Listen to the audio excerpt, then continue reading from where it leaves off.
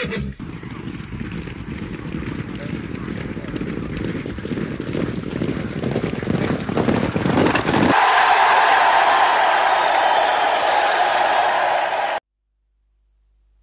this is Mr. Gamble. It's Friday the 3rd of March and today we're going to be looking at a race at Lingfield. Now the race we're interested in today is the 230 and the horse we like is ahead of time.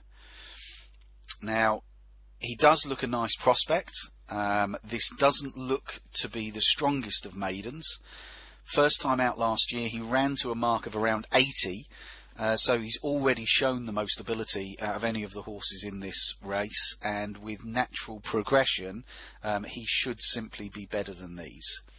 He's had a prep run a few weeks ago, so the cobwebs have been blown away, um, and he should be able to show his full potential today.